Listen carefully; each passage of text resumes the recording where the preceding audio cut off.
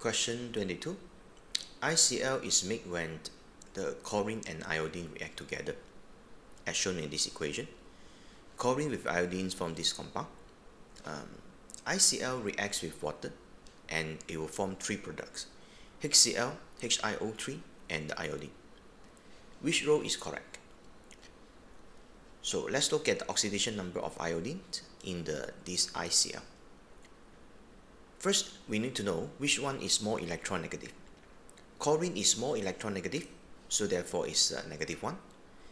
And therefore the iodine must be positive one. So answer it just can be A or B. C, D cannot. Not the answer. So let's look at the statement. Which one is correct? The iodine atom are oxidized to form iodine. Okay, so this iodine in the ICl is positive one.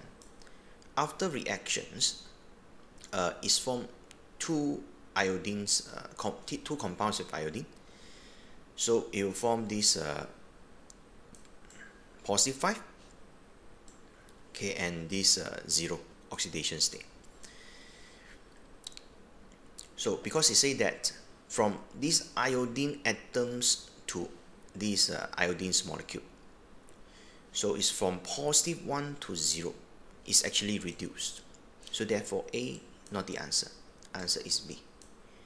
Okay the iodine atoms are oxidized to form HIO3 yes because it's from positive 1 to positive 5 so it's get oxidized. Okay, that's all. Thank you